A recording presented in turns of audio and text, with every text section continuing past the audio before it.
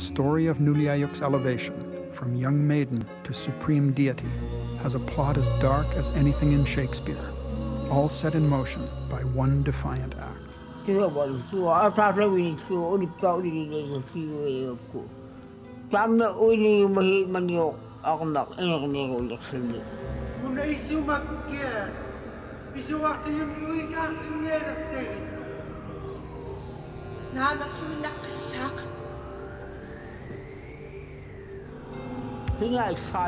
Tabla, wini ko ba ito? Ikini iskalo na kami.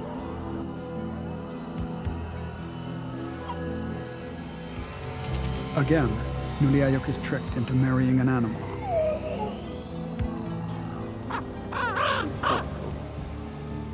Ang mga pakinikan na rin yung nakakuntok doon ako sa paksun.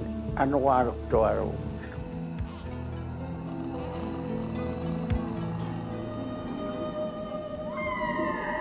Nuliajuk transforms as she descends to the bottom, miraculously becoming both creation and creator, the sea beasts that are the Inuit daily bread, and the god who is their mother. The shaman had to petition her to release her bounty. If she was generous, the people feasted.